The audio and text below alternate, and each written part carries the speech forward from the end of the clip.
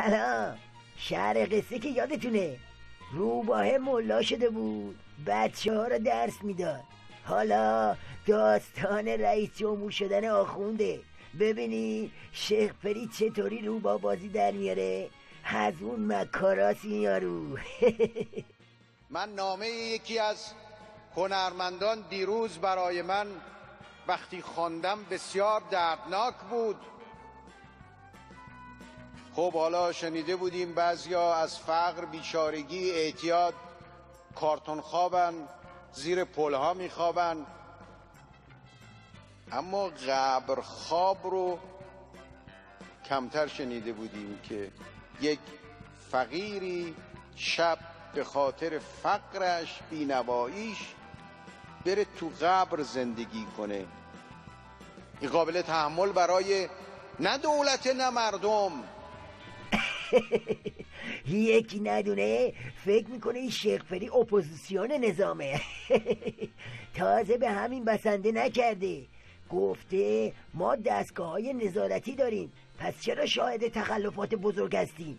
البته یه سیخ و هم به احمدی نجات می‌زنه و میگه تخلف عظیم و بزرگ سه میلیارد دلاری در دولت قبل. حالا ببینین باند رقیب چطوری جوابشو میده.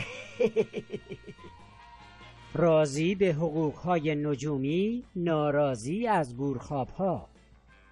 تلخی روزگار مدعی شدن دولت در قضیه گورخوابی و کارتون خوابی است.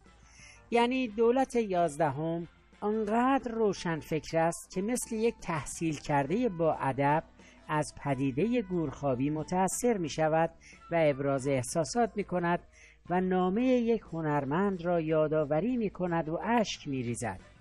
اما کار نمی کند و فراموش می کند که رئیس مملکت است و باید درباره گورخوابی و فقر و فلاکت پاسخگو باشد نه مدعی ببینید چطوری بعد همدیگر رو میریزن رو آب دم انتخاباتی همه اپوزیسیون شدن یارو داره میگه تو رئیس مملکتی باید پاسخگو باشی نه مدعی. این یه هوک چپ از باند رقیب. پشت بندش هم یه هوک راست می‌زنه. اینم بشنوین هیچ چیز سر جای خودش نیست. سروری دبیر کل جمعیت رهپویان. هیچ چیز سر جای خود نیست و دولت به جای موضع اپوزیسیونی در قبال پدیده گورخوابی باید پاسخگو باشد. عدم پاسخگویی در این زمینه باعث یأس و ناامیدی مردم شده است. وقتی دولت جای اپوزیسیون می نشیند معلوم نیست چه کسی باید پاسخگو باشد. بله نکته ظریف داشتی. میگه مردم از نظام ناامید شدن. بعد بهش میگه بی خود پرت و پلا نگو و ژست اپوزیسیون نگیر. البته خبرگزاری سپاه پاسدارانم از قافله عقب نموند و اینو نوشت. از یک بام و دو هوای رئیس جمهور در برخورد با فساد. رئیس جمهور امروز در حالی از فساد سه میلیارد دلاری در سالهای گذشته سخن گفت که انگار فراموش کردند در همین دولت ایشان فسادی به ارزش بیش از هشت هزار میلیارد تومان رخ داده. اما به آن هیچ اشاره ای نمی کنند برخورد با فساد شعاری پرتونتراغ اما تنها در حد حرف.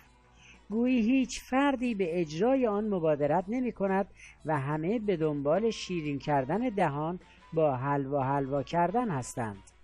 انتخابات که شده باند رفسنجانی می‌خواد با روباه صفتی نون تنفر ملت از ولی فقیه بخوره.